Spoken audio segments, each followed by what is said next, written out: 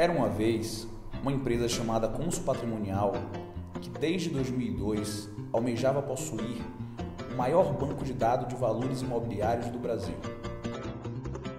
Para atingir seu resultado, ela iniciou a trabalhar com avaliações imobiliárias, estudos de viabilidade de empreendimentos e diagnósticos de mercado imobiliário para todas as instituições financeiras do país para as grandes incorporadoras e construtoras da nação.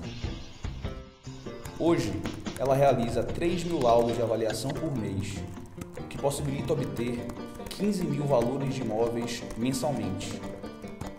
Ela possui 50 colaboradores internos e 1.300 colaboradores externos.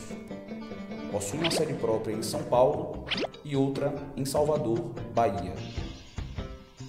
Suas operações em todo o país são possíveis graças a um sistema de TI super inteligente que conecta empresa, clientes e representantes. Assim, a Consul Patrimonial se tornou referência neste nicho de atuação.